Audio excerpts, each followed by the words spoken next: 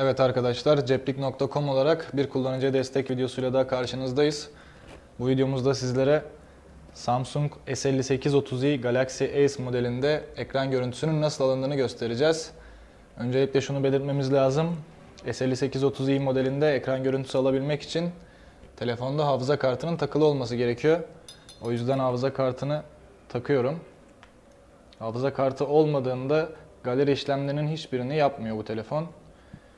O yüzden hafıza kartını taktım. Hafıza kartınız telefon tarafından okunduktan sonra yapmanız gereken ana ekran tuşuna 1-2 saniye süreyle basıp ardından hemen güç tuşuna basmak. Şöyle ki tuşa basıp 1-2 saniye bekliyorum. Gördüğünüz gibi ekranda bir hareketlenme oluyor ve bir deklanşör sesi duyuluyor. Yakaladığınız görüntüyü telefonunuzun galerisindeki Screen Capture albümünde bulabilirsiniz. Gördüğünüz gibi aldığımız görüntü burada. İşlem bu kadar. Tekrar görüşmek dileğiyle.